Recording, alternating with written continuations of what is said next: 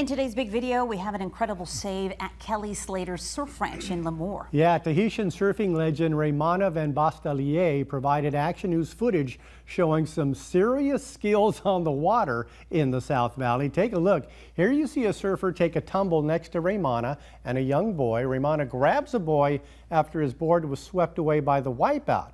But keep watching. Raimana calmly grabs the child's board back as it comes back mm -hmm. while holding the boy and still riding the man-made wave produced by wow. Kelly Slater Wave Company technology. He manages to pull that board back and then place that boy back on his board. Mm. They both finish out the wave, which typically lasts for rides of up to a minute long. Raimana rocks. That was so amazing to watch. It looked like it was rehearsed. Right. No, that was incredible. And it's still hard to wrap your head around the fact that this is Lemoore. Yeah. That you're watching. Th those perfect waves, they just keep right. coming at you. We haven't ridden them yet, but there's time, maybe one day. Hey Central California, stay up to date with all the latest news and weather. Don't forget to hit that like button and subscribe to ABC 30 Action News.